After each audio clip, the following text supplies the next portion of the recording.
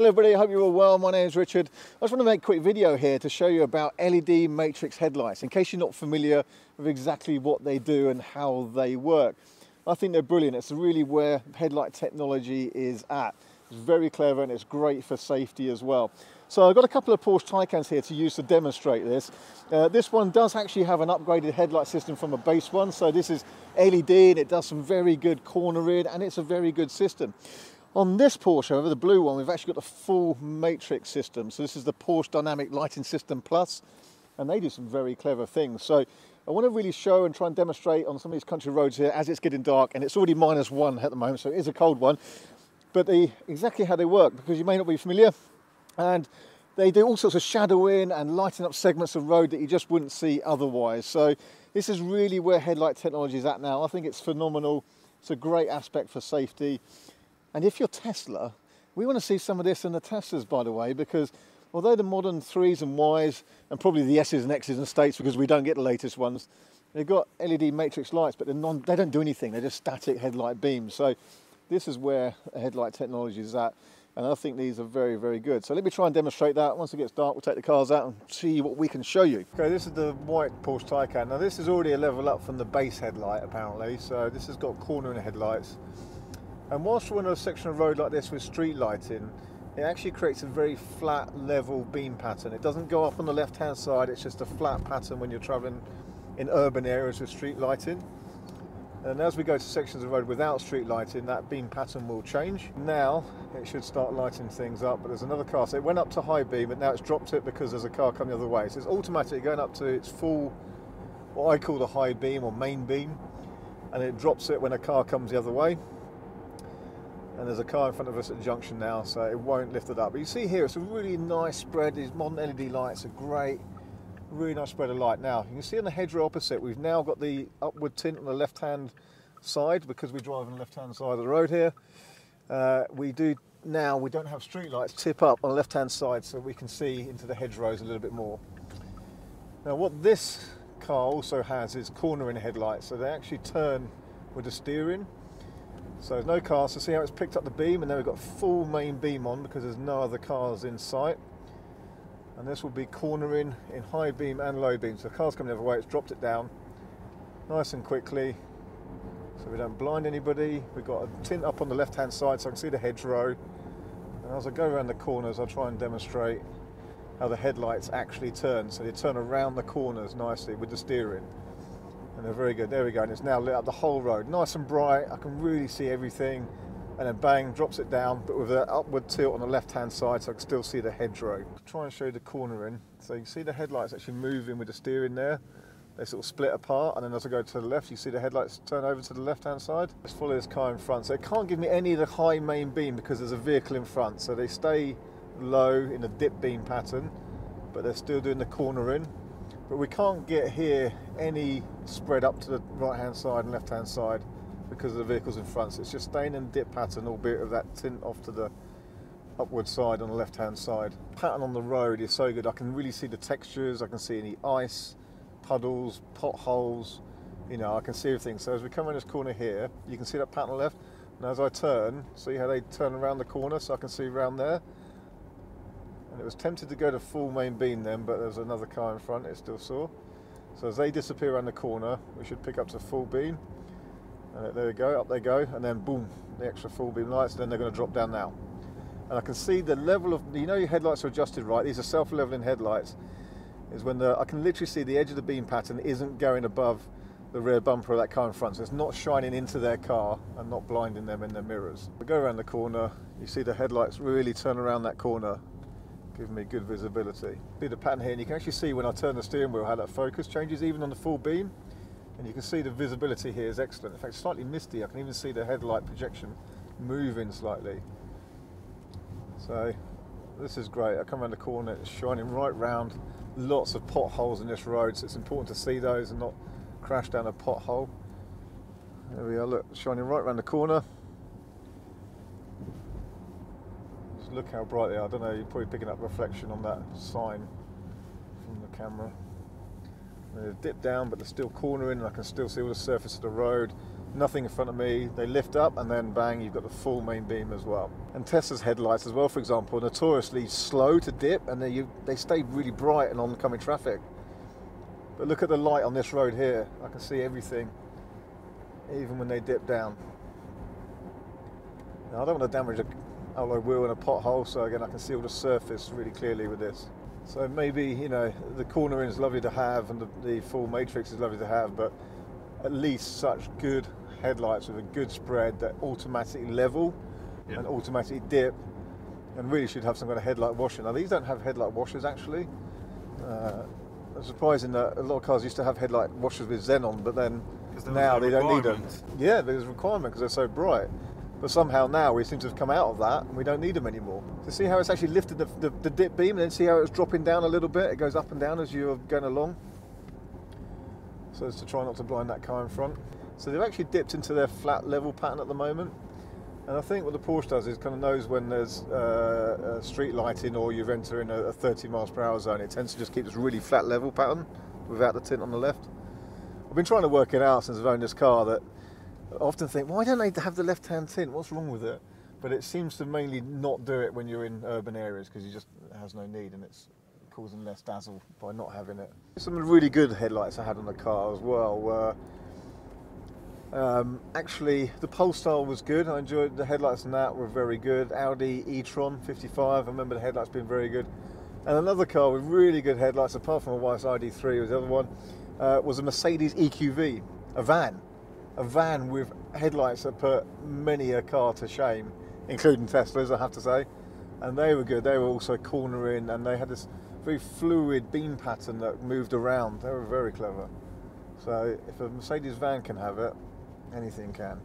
And what the Teslas have is a really fixed block pattern on the left-hand side that really goes quite a long way vertically and if you're just following a car in front, it highlights left hand side quite well, doesn't do too bad. But what I found with the Teslas is that even if you're in the middle lane of a motorway on the inside lane, there's a car on the outside lane, that lifted pattern on the left hand side blinds you. We'll go and jump in the one with the dynamic matrix and you'll see they take it to the next level again. So this is the blue Taycan with the what they call a PDSL Plus, a Porsche Dynamic Lighting System Plus. Over 84 segments, I think it is, or 84 segments to these headlights and all sorts of clever things. Uh, and includes uh, the plus means you get like intersection lighting. It actually spreads it out wider at an intersection and then it adjusts the focal point and all that kind of thing.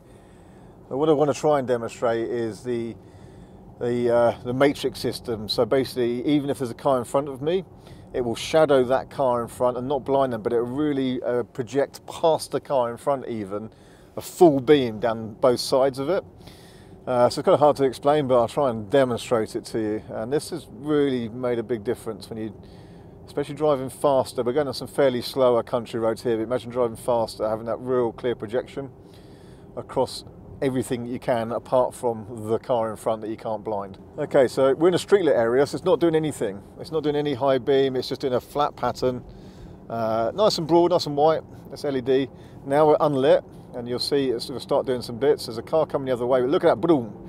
And now it's creating shadows. See how it's shadowing that car? It's literally making a shadow as that car goes past, but it's still full beam in front of us here. And so it keeps everything as full high beam, whatever you want to call it, apart from any other vehicles in front of you. And it's all automatic. It goes on when you get in the car, so it's dropped because we're at a junction. And then as we go back onto the roads, it's lit up, leaving a shadow for that car. So it's still on full beam at the moment except for that car in front. So all the left-hand side is lit up fully, all the way up that hedge. You can see everything there. You can see clearly at the junction. As I come around the corner, they come around the corners as well. And then it continuously lights up everything it can. Now that's headlights, isn't it? Here comes a car. But that's okay, we've still got full beam in front of us. See how that was still in front of us? I could see that building, even though there was a car coming head on. Now I've dropped the pattern on the right hand side, they've lowered down because there's some cars coming, but we're still full beam. I'm seeing all that road sign, all that fencing, I'm seeing this hedgerow and that tree. There we go, everything is lit up. And all continuous automatic and adjusting really quickly. So if you're you were in front of me yesterday, were you blinded by these lights at any stage? No, I saw in front of my car. You can see the headlight. Yeah, they were helping you drive your car. your. But that's the thing. It must feel really weird for a car in front because you're projecting past them, uh, which is strange. There's still full beam on the right, still full beam on the left. There's a car in front of us, and as you go in the corner, you see the little blocks increasing.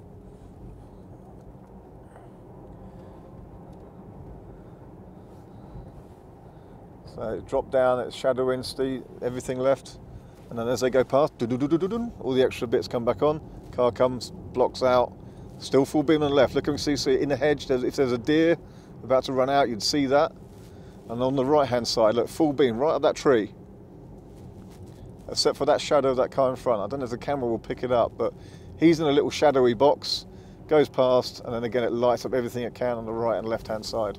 And even though we're pretty head-on with this car, you can see again how much we're just lighting up the side of the road here nicely. So even as we go into the dip, because it's got that full beam going all the way up, I can see even now up that hedgerow, which the other car wouldn't be able to do. It would have had to drop the whole pattern, but this can keep the pattern up on the left-hand side. I hope the camera. This is a really bumpy road. The Taycan's got great ride quality, but uh, this is a bumpy road, so hopefully the camera's steady. But it also means that because it can keep that high pattern, see how it's reflecting every single one of these road signs along this road. Again, another car would have had to dip to a flatter pattern and you wouldn't see those.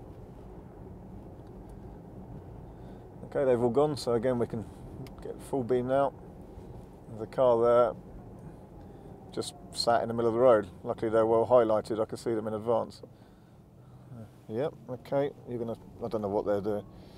That's why you need good headlights. People just do stuff like that, just pull out and stop there.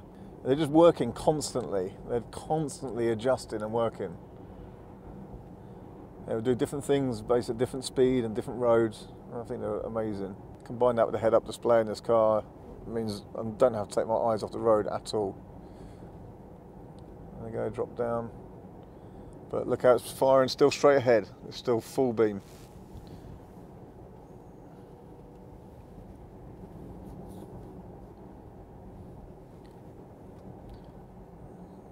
You don't see the headlight pattern move quite as much around corners with these. They do light up around the corners, but you don't see the actual kind of projector move like you do in the other Taycan. Because it's sort of illuminating segments rather than moving the whole thing, I think, is what it's doing. Give me some light. Boom. There we go.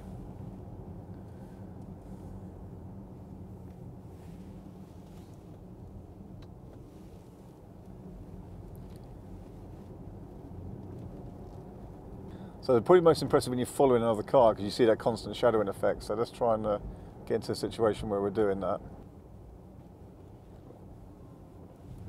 So see these segments move as he's moving. Can you see that? How that shadow right near the back of his car. And so he's thinking, why these lights going past me? And then you'll see it here on the right. And there's a car coming, it drops it down, and you see it on the left now. And you see it on the right literally tracks him around the corner and I can see that hedgerow over there in front of the car in front.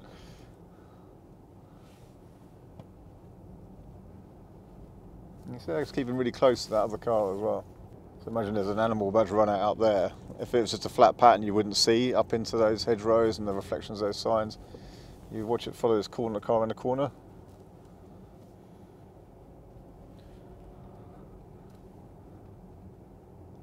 See that shadow? It's hard to know what the camera can pick up. I can see really well. you see, like right past that. He's put his full beam on now. Yeah. I think I'll be able to stop video now. So, so. But even here on the left-hand side, all of this is just fully lit right to the top.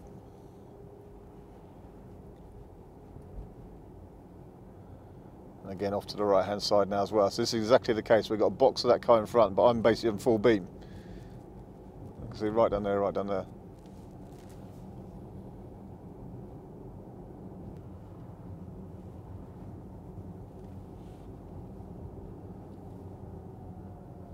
So that's a good case. I can see that curb because of that as well. A little bit of curb that stuck out. Bad headlights, look. So that's blinding me exactly what it shouldn't be.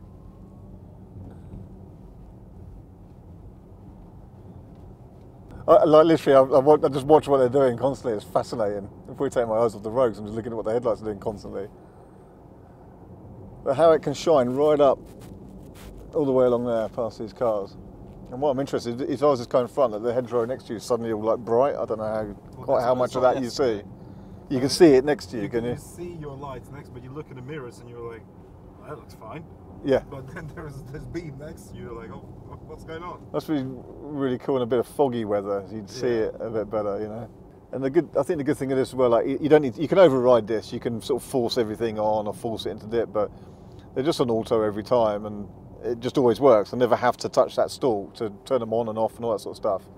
They always react quickly and on time. So I hope that was a useful demonstration. It's more, it's clearer in person than it is on the camera, I think, looking back at some of the footage just now. Uh, so the effect is better than we can really pick up, but hopefully you get the idea of how it works I demonstrate exactly what it is in case you didn't know what it was. Uh, so fantastic, and it's getting better and better. The technology is amazing. The next step of this is high definition versions of this with thousands of pixels. So Porsche, Mercedes, and uh, Audi and such like are all working on such systems and starting to bring them out now. And uh, they're bringing up uh, map directions on the ground and, and uh, highlight the next lane. Where the headlight technology is going is amazing. So hopefully everyone keeps up with that. And I think it should be something standard on many cars because it's such a good safety feature. And of course, with the latest Tesla Model 3s and Ys, they've got the Matrix headlights in them. They just don't do anything. So hopefully we see something with the Teslas where a software update will enable that. Uh, but that's it for now. Hope it's been interesting. We'll see you on the next video. Hey everyone, thanks for watching our videos. If you like our content and want to see more, don't forget to not only subscribe, but also hit the bell icon for notifications so you don't miss any new videos as they're uploaded. Plus, we're also on Instagram. Just look up R Symons or RSEV.